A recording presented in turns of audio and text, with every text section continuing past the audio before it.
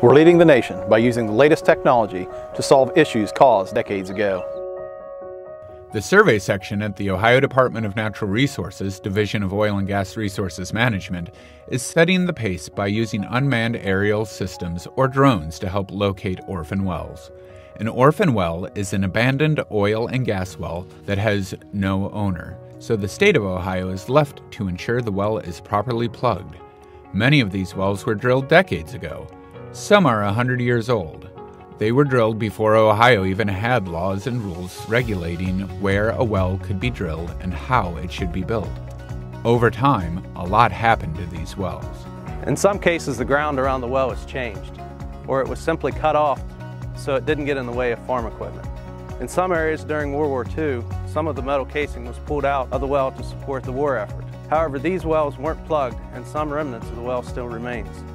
Many of these wells aren't causing a problem for landowners. In fact, most don't even know they're there, but they weren't properly plugged and should be. To plug a well, a qualified contractor needs to prepare the well by cleaning and conditioning the well bore. The contractor then pumps cement down the well to isolate the rock formations that once produced oil and gas from the ground and surface water located closer to the surface. Plugging these wells is the work of the Orphan Well program. But before that can happen, someone has to find where these wells are located. That's where the survey team comes in. This is our magnetometer.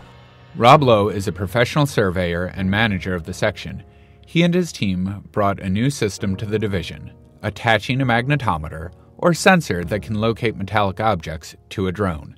The surveys allow us to cover a large area, like a farm field, and locate all the potential wells at one time. Lowe says the magnetometer is highly effective at locating buried casing.